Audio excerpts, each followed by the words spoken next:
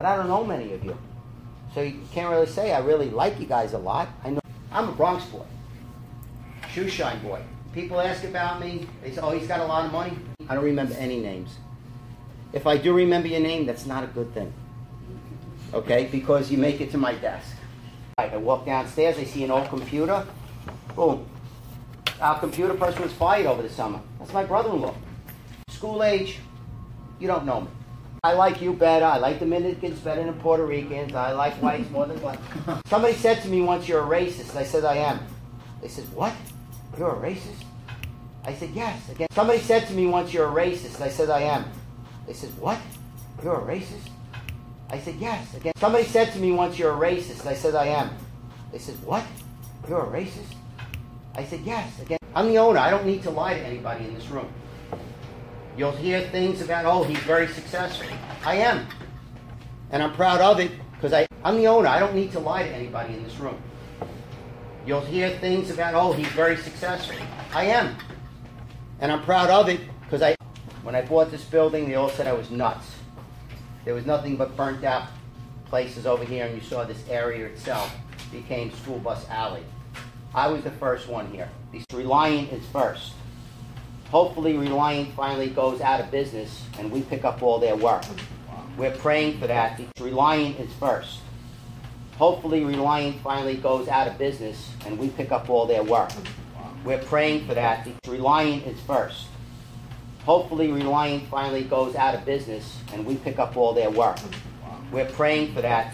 When the Board of Ed stops you at a school or comes in for a spot check and a light is out or something's out, that's your done. That's 250 to 400 that comes out of your pocket. When the Board of Ed stops you at a school or comes in for a spot check and a light is out or something's out, that's your done. That's 250 to 400 that comes out of your pocket. I started air conditioning in the buses back in the 1990s. That's why we have air conditioning in our buses. It didn't exist up until 1998. And I was the first one to start it. Now it's mandatory in the contracts buses have been checked for sleeping children. I started that.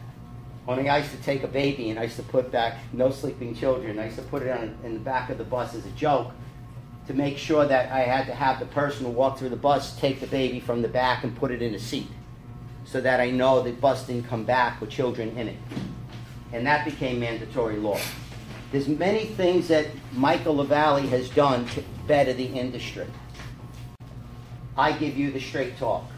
So you know, last year, 17 of us got together when we were basically going to have all of our work taken away from us. It was called the EPP was coming in. 17 companies got together. And we basically sued the Board of Education saying it was unjust, as we did the five times before. And we won, hands down. Every phase of the way, we won. Boom, boom, boom, boom. The judge even said, don't appeal this because this has already been done five times. Well, the city appealed it. Welcome back. So Michael LaVallie finally admits that GVC was in fact one of the 17 bus companies that sued to block the EPP. The EPP is a very good thing for all employees of any school bus company. The EPP is beneficial for all school bus company employees. Michael LaVallie is participating in trying to stop the EPP and has the audacity to try and make it seem like his participating in the lawsuit is a good thing for his employees. It is absolutely ridiculous that he is making it seem like blocking the EPP is a good thing. What a jack off he is. GVC participating in the lawsuit to block the EPP only benefits him and hurts his employees and their families. Michael LaVallie admitting to his participation in the lawsuit to block the EPP only says one thing. He does not care about you or your families. Now ask yourself this question. If Michael LaVallie really cares about me, why is he actively participating in trying to stop something that would benefit me and my family? To all GVC employees, do not fall for his trick to try and get rid of Local 1181 Union. Getting rid of the union would be a very bad thing for you employees.